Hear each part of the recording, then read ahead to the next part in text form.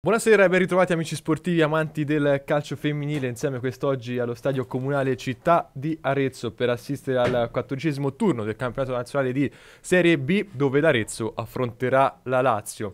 Per l'Arezzo eh, viene dal turno di settimana scorsa con la sconfitta 3-0 in casa della Roma e quindi la classifica si fa piuttosto pesante in zona eh, retrocessione dove attualmente al decimo posto a meno 3 dal Milan Ledis e dal Cesena. Ricordiamo però l'Arezzo di recuperare la gara contro il Milan, mentre la Lazio si trova al settimo posto in classifica di Fazio.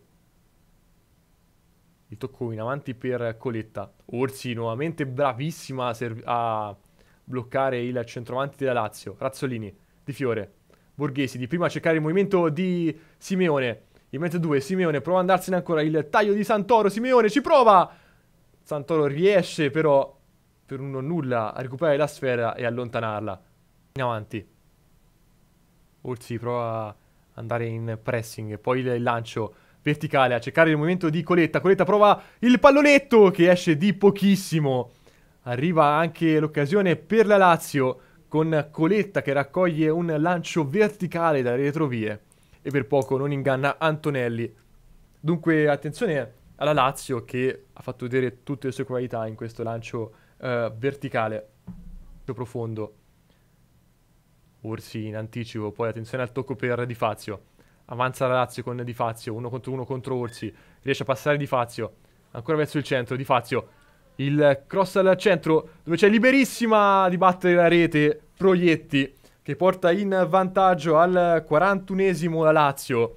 Grande progressione sulla sinistra di Di Fazio con il cross per Proietti, bravissima altrettanto Coletta a tagliare verso il primo palo e a lasciare lo spazio di battuta al numero 11 della Lazio che sblocca la partita al 41esimo. Dunque cambia il risultato qua al Comunale di Città di Arezzo con la Lazio in vantaggio per 1-0 in virtù del gol di Proietti. Fischia l'arbitro. Parte con il destro Savini, riesce Antonelli a mettere la palla sopra la traversa con un grandissimo colpo di Reni e rimane comunque in avanti a Lazio che adesso potrà usufruire di un altro calcio d'angolo. Simeone apre sulla destra a cercare il movimento di, di Fiore. Di Fiore duella con Di Fazio. Ancora Di Fiore, finta contro finta, può andare al cross, il cross arriva in questo momento, centrale per Razzolini! E arriva il pareggio dell'Arezzo! Con eh, Costanza Razzolini al settimo minuto della ripresa, grandissimo il gioco di gambe di Fiore, il cross basso messo per Razzolini che sotto porta non sbaglia, freddissima sotto rete e porta l'Arezzo nel risultato di 1 a 1. Grande merito questa volta del gol a Di Fiore che ha ubriacato di Fazio sulla destra e poi il cross messo al centro è stato un bacio per Razzolini. Possesso palla, grande, trova un gran pertugio per Moscia.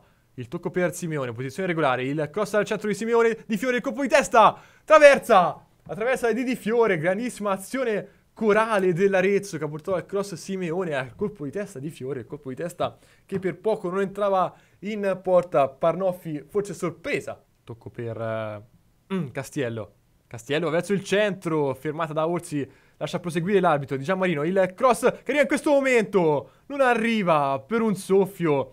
Eh, Cianci, grandissima occasione per la Lazio con Cianci che non è riuscito a battere la rete, aveva anticipato Mencucci. Ma arriva il triplice fischio, finisce 1-1 la gara fra Arezzo e Lazio. Ricordiamo le reti nel primo tempo il 41 al 41esimo il vantaggio è Lazio con Proietti e nella ripresa arriva il pareggio al settimo minuto con Razzolini. È stata una partita tosta come ci aspettavamo, abbiamo preparata durante la settimana anche con un po' di infortuni che ci hanno un po' condizionato le ultime scelte che poi si sono dimostrate invece eh, funzionali alla squadra, mi sono piaciute tutte le ragazze, mi è piaciuta la reazione che hanno avuto, chiaramente il go è venuto in un momento che secondo noi era anche no il nostro momento migliore, però è anche vero che il calcio è questo, quindi abbiamo, ci siamo preparati nel secondo tempo subito per eh, provare a recuperarla, l'abbiamo recuperata poi con un po' di fatica l'abbiamo portata in fondo. Domenica andiamo in un campo importante che è il campo di Ravenna, poi andiamo a fare questo recupero che chiaramente per noi è uno scontro importante. Noi chiaramente cercheremo di conquistare punti